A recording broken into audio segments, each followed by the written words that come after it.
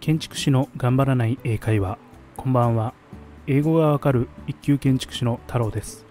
このチャンネルでは建築海外英語笑いの世界をメインにゆるーく配信していきます。今回が第21回目になります、えー今回のテーマは見切り剤は英語で何というものの意味を考えてみるです。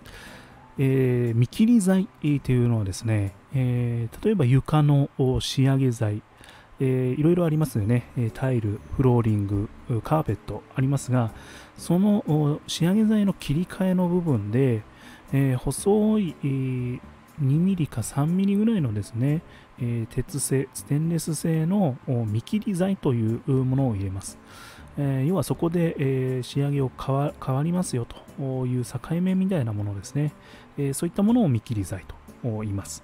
じゃあその見切り剤、えー英語で何というかっていうと、えーディバイダー、ディバイダーです。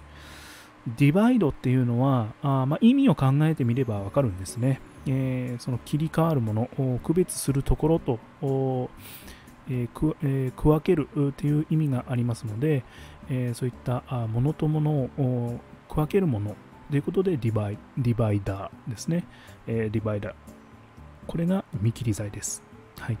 覚えましたかね、えー建築の方。あーまあ見切り剤ね、えーよく言葉で使うと思いますね。ディバイダーこれを覚えておきましょう。はい。えーそれではこの辺で終わりたいと思います。最後まで聞いていただいてありがとうございます。え聞いていて面白かったためになったと思ったら、いいねやコメントをいただけると大変嬉しいです。それではまた明日も気楽に行きましょう。Take it easy. Good night.